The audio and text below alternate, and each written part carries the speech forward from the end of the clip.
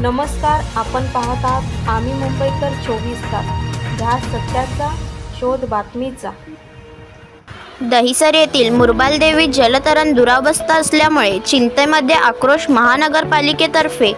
या जलतरणचा मेंटेनन्सबाबत जूनमध्ये माजी नगरसेवक संजय गाडी यांच्यातर्फे पत्र देण्यात आले होते. मुरबालदेवी जलतरणमध्ये टाईल्स भिंत व स्लॅब असे अनेक प्रकार तुटलेले दिसून आढळल्यानंतर एखादी व्यक्ती त्याचा अपघात होऊ शकतो असा निर् असा निर्णय निदर्शनात आणून दिल्यानंतरही अधिकारी टाळाटाळ करत आहेत.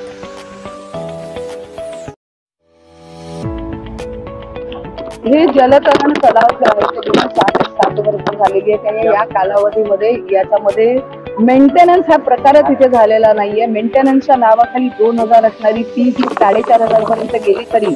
पण इथे कोणत्याही पद्धतीचं मेंटेनन्स न झाल्यामुळे स्विमिंग पूलच्या आतील टाईल्स सुटलेल्या आहेत त्याचे रेलिंग सुटलेले आहेत बाहेरील टाईल्स सुटलेल्या आहेत टॉयलेटची अवस्था अत्यंत खराब आहे.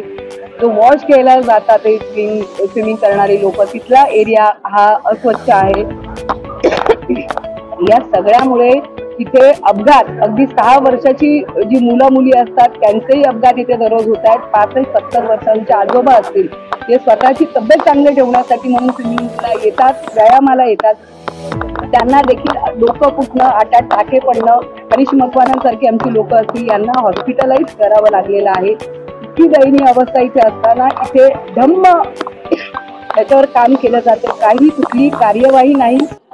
गेल्या आठ महिन्यापूर्वी आम्हाला आश्वस्त केलं गेलं होतं टेंडर निघेल पण काहीच झालेलं नाही आणि म्हणून हे आंदोलनाच्या माध्यमातून लोकांचा प्रक्षोभ आम्ही या ठिकाणी व्यक्त केला. आता ऐकलं असेलच की आता निदर्शनाच्या वेळी जो पहिला ज्यांनी भाषण केलं तो इकडचा जलतरण पटू आहे चांगल्यापैकी. असे पन्नास जण सिनियर माणसं रोज इकडे येत आहेत आणि त्यांनी ज्या असुविधा आहेत म्हणजे बारका बारका टाईल्स तुटलेल्या आहेत टॉयलेट सारखी व्यवस्था नाही आहे तुम्हाला शॉवर घ्यायचा असेल जायचं तर पाय घसरून माणसं पडत आहेत आणि अपघात होत आहेत. या साध्या गोष्टी कित्येक महिने आमचे नगरसेवक घाडी आणि इकडचे सर्व पदाधिकारी त्यांच्या पाठीमागे लागले. किशोर गांधी माझा मला वाटतं त्याचे ते अधिकारी आहेत. पण कोणाला पानं पुसण्याशिवाय ह्या लोकांनी ते काहीच केलं नाही. मग ह्यांना तेच कळतं की निदर्शनं म्हणजे म्हणतात ना की एखाद्याला ज्या भाषेत हे असतं त्या भाषेत आता आम्ही उत्तर दिलेलं आहे. आणि आज हे केल्यानंतर बाकी त्यांचा मला फोन आला आणि सांगितलं मी मंगळवारी येतोय. मंगळवारी आपण मिटिंग लावूया. आणि मी लगेच ते काम आता अजूनपर्यंत त्यांचं टेंडर पास होत नव्हतं. बाकीचं बाकीचे टेंडर सगळे पास झालेली आहेत. पंचवीस हजार कोटी त्या गंगाजळीतून काढलेले आहेत. नको त्यांना वाटलेले आहेत. त्या वाटत करून ह्याच्यामध्ये त्यांनी काय कामं केली हे दिसत नाहीये.